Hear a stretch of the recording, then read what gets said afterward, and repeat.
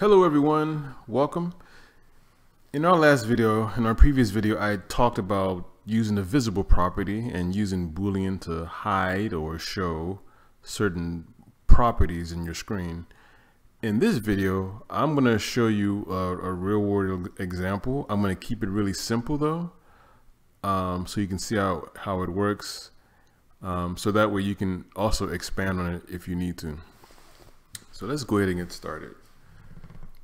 So I have this simple list here. I have, this is a conference registration. It's, let me click on new. So the questions I have are which JavaScript session are you interested in? Which SharePoint session are you interested in? And which Power Platform session are you interested in? So in my in my Power Apps, let's go and customize it. What I'm going to have is I'm going to have two screens. One screen will have the form and the initial screen, when the app opens up, is going to be a gallery. And within the gallery, there are going to be three sections. So one will be SharePoint, the other would be Power Platform, and the last one would be JavaScript. And depending on which one you click on, it'll navigate you to the next screen, which has the form. And based on what they selected, the associated question will show. So I'm going to be using the Boolean to hide this. So first and foremost, let's expand this canvas here. So I'm going to come up here to File, um, Setting, Display, and I'm going to change this from Portrait to Landscape. Apply. Now the reason I do this is because I want a bigger real estate. I'm not dealing with mobile. So I'm going to be dealing with the web or tablet, so that's why I, I expanded this. And the next thing I'm going to do is I'm going to remove this attachment because I don't I don't really need it. So edit fields, just come here and then remove. There you go, it's gone. And then, so yeah, I, I, we're going to come back to this and work on this page a little bit more. But first, let's go up here to a new screen and create a new screen blank and I really want this screen to be our oops I want it to be our startup screen. So let's move it up. Let's rename it. Uh, I'm just gonna call it entry. Entry. And then I'm gonna call this screen let's call it registration. Registration. So you want to make sure you name your screens appropriately so let's come here. So here, I'm going to add a gallery. So I'm going to come up here to the ribbon, click on insert, and here's my gallery. And I want the horizontal gallery, not the vertical. I said vertical earlier. I meant horizontal. So here's my horizontal. So this horizontal gallery, it's looking for data. It's asking which what, what I want to connect to. So I don't want to connect to a list. What I want to connect to is I'm going to create a table. So table, and the way you do it is table.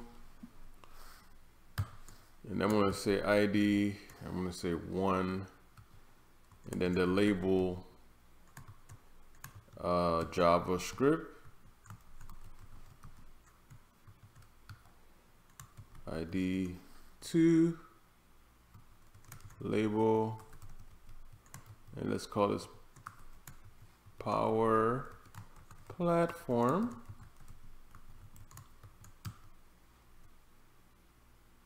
And then oh I'm sorry I'm gonna I need to close this off. So these are by themselves. So close that put it in braces. So JavaScript is is one whole by itself then you have Power Platform and you have to have since they're unique you want to give each one of them an ID and then I'm going to come here ID, I'm going to say three, my last one, which is SharePoint, comma, label, SharePoint. Okay, so what I'm going to do now is now I want this gallery, I want to feed it this information here on a, I want, the, I want that information to appear on a button. So I'm gonna add it coming here, click on this and then add a button. And as you can see, we have three buttons and that's because it's, it, it has three sections as a gallery. So I can have as many as I want. So I'm gonna come here and I'm going to expand this a little bit, make it a little bigger. And I'm to do this. There you go. And so what I want to do is the table I just created, I want the names to be associated with each button. So what I'm going to do is I'm going to go to text because text is how we write stuff on the button. So let's look for the property text. Here's the text. So the if you remember the item, the I'm sorry, the item of the gallery was the table. So now I want to grab the item and feed it to the button. So what I'm going to do is click on the button. I'm in text and I want to say this item dot label and label was one of the properties in the table. And as you can see, it added the names on the button. So JavaScript, Power Platform, SharePoint. Now let's come in here and make this button a little bit bigger.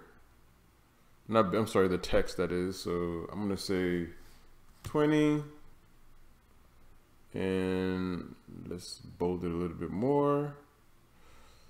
So let's bring this down some. Okay, and then what I want to do is for just this page, I'm just going to change the color a little bit. Uh, let's see. Uh, that's too pinkish. Let's just add a gray background. There you go. Okay. And if you wanted to change the color to this, you can do that as well. There you go. So now that I have my buttons, what I want to happen now is when they click on the button, it should take me to this registration page. So let's select the button and we're going to go to the on select property. Let's go up to on select property and here we're going to say, okay, when they select this button, we're going to say navigate, navigate to our registration. Registration. Okay, so select it. And then you can also choose how you want it to, if you wanted to fade, cover right, any other stuff. Let's do this, see what that looks like. Now, when we navigate to our registration page, we want to pass it the label, the name that's in here. So the way to do that in Navigate, you can pass it from one data from one screen to another. You come in here, put your braces, and you're gonna say, I'm gonna say, um, let's say conf name, conference name, and we're gonna say this item dot label. So right here. So what we're doing is we are passing this label. We're kind of assigning it to this called a variable, and then we're gonna pass this variable to the next page. So let's go to this page and let me just, let's, let's bring this down a little bit.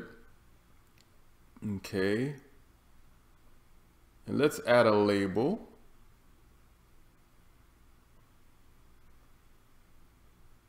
Let's add this label here. There you go. So what we're gonna say is, we're gonna say conf, if you remember, conf name, see it has it, conf name um, we're going to concatenate the following string, which is um, registration form and close it. Here we go.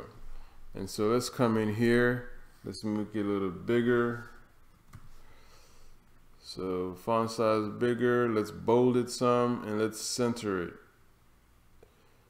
Um, now you don't see the conf name because we haven't done anything yet. So now let's let's add a back button really quick so we can go back to our other screen. So we're gonna come to icon And let's scroll down until we see something that looks like a back button. This or let's use this. Okay. Put that up here. Let's make it a little bit smaller. Align it. And we're going to go to the on select property. And we're going to say navigate. We're going to navigate back to the entry. So entry comma, and let's see what this some of these other things do. So let's say we want to do fade. Let's see what that looks like. Okay. All right, so let's see how this works. So let's come up here to our entry and do this, JavaScript. Okay, let's go back. Power Platform, go back. And then we're gonna say SharePoint and go back. Okay, and then I'm gonna close this. So it works. See, JavaScript, it works. SharePoint, see, it works. So, but that's not why you're here. We are talking about the visible property. So let's come back here. Now, as you can see, our form isn't showing. Now, why is that? It's not showing because we have it in the wrong mode. So let's come here. See, the default mode that says edit but we don't have any data. There's no data in here to edit. So what we want to do, the mode we want to have it on is new. So now when we do this, we see our form appears. SharePoint, there you go. That's what we want. So now what we want to happen now is when we click JavaScript, just this should show. And if it's SharePoint, just this should show. And if we selected the Power Platform, just this should show. So you can expand that and make it a bigger form and do the same, have the same concept. So let's go back. So now what we're gonna do, we're gonna, there's so many ways to do this, but I'm just gonna show you a, a very simple way. It's probably, if I had a longer and bigger, a longer form, I would probably do it a different way. But since it's just three fields, I'm gonna go to the visible property and the visible property expects a true, a Boolean value. So a Boolean is either true or false. So what I'm gonna come and do here is I'm gonna say, I'm gonna say if, and I'm gonna say, what was the name of my, was it con? Okay. So if conference name is equal to um, JavaScript. We want this visible property to have the value, the Boolean true. And if it, if it isn't JavaScript, we want it to have the Boolean false. Okay.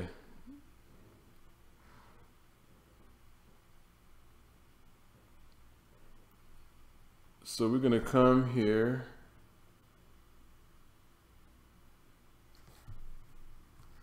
And we're going to do the same thing over here. So let's go to the, you select the card and then you go to the visible property. And then we're going to paste this in here. Oops. Oh, what did I do?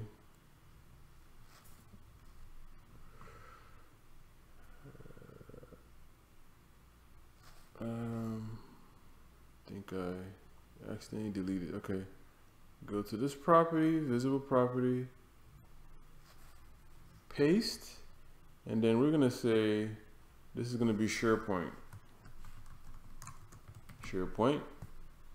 And then we're gonna come to the Power Platform. As you can see, it's gone. We're gonna go to visible property, paste, and we're gonna say power, oops, Power Platform.